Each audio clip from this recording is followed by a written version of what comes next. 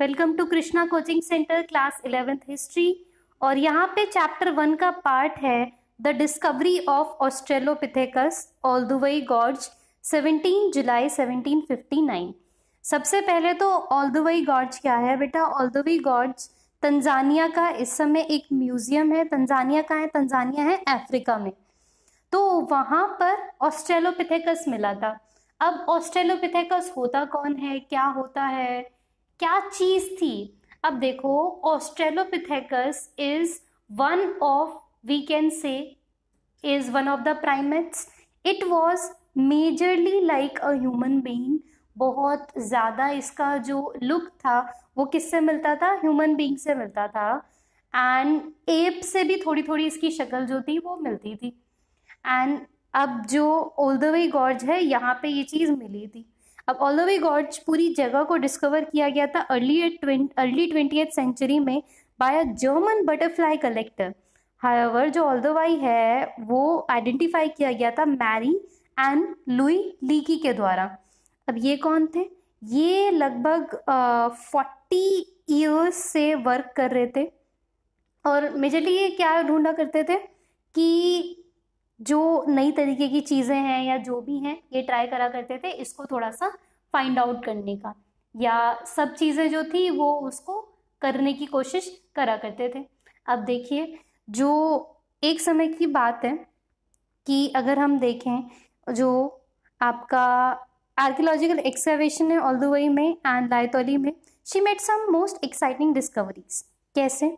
This is what Louis Leakey wrote about one of the most remarkable finds तो जो उसका best find था ना उसके बारे में देखो क्या बोलते हैं लुई लिकी कहते दैट मॉर्निंग वो सुबह मैं एक हेडेक के साथ उठा कुछ हल्का फीवर था मुझे एंड uh, मुझे लगा कि मुझे आज का दिन कैंप में ही बिताना चाहिए। With one of us out of commission it was even more vital for the other two continue the work अगर एक अब आराम कर रहा है तो दूसरे को वर्क करना पड़ेगा। कौन? जो मैरी थी। उनकी wife and for our precarious seven week season was rating running out seven week season कौन सा जिसमें वो कुछ डिस्कवरी के लिए आए थे? तो मैरी जाती है वहाँ पे डिपार्टेड फॉर द डिगिंग्स वो डिगिंग्स करने जाती हैं विद सैली एंड टूट जो उनके दो डॉग थे। In the Land Rover Land Rover क्या एक जीप लाइक व्हीकल होता है और मैंने एक डे ऑफ़ ले लिया। अब सम टाइम लेटर मैं डोज ऑफ़ डोज ऑफ़ का मतलब मुझे हल्की सी झक्की आने लगी। मैंने क्या सुना कि जो लैंड रोवर है coming up fast to a camp मतलब लैंड रोवर बहुत तेज़ी से भाग के हमारे कैंप की तरफ़ आ रही है। एंड मुझे एकदम से लगा कि कहीं जो मैरी है उसको किसी कॉपे ने तो नहीं काट लिया किसी बिच्छू ने तो नहीं काट लिया कहीं किसी स्नेक ने तो नहीं काट दिया। हे भगवान ये कैसे होगा? अब जो लैंड रोवर है एकदम से मेरी तरफ़ आ रही थी भागते हुए एकदम से वो स्टॉप हुई। एंड uh, मैंने मैरी की वॉइस सुनी I heard Mary voice calling over and over I have got him I have got him I have got him अब जो स्टिल था ग्रॉगी फ्रॉम द हेड एक I could not make her out मैं नहीं समझ पा रहा था वो क्या कह रही है। तो मैं पूछ रहा था are you hurt I asked Mary बोलती है him the man our man Mary said the one we have been looking for twenty three years come quick I have found it still देखो, हम जिस चीज़ की तलाश तेईस साल से कर रहे थे, मुझे उसके दांत मिल गए हैं and I have found the teeth so from here the discovery of Australopithecus is started so Australopithecus जो है हिस्ट्री के अंदर बहुत important role important part play करता है. एंड इसका बहुत सारा रोल रहा है हमारी आर्कियोलॉजिकल हिस्ट्री में. बहुत ज़्यादा इसमें लोगों ने रिसर्च करी है.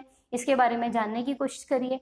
Still the research is going on अभी हम ये कह नहीं सकते कि टोटल जो है वो कंप्लीट हो चुका है बट माना जाता है it is a group of extinct primates if not actually ancestors of modern human beings but हाँ उनसे काफ़ी रिलेटेड था ये तो सदर्न अफ्रीका में हमें मिलता है।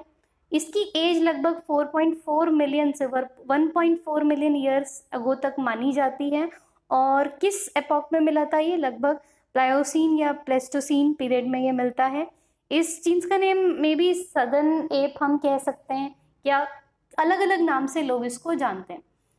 So this was about the Australopithecus discovery जिसके बारे में we were talking about so thank you so much I will meet you all in my next video history का पूरा प्ले लिस्ट पड़ा हुआ हमारे चैनल पे and we are going up with other subject as well thank you so much